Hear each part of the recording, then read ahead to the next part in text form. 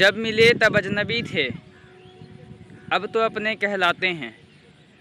कि जब मिले तब अजनबी थे, अब तो अपने कहलाते हैं। दो दिलों को जोड़कर क्यों ना हम एक दिल बनाते हैं?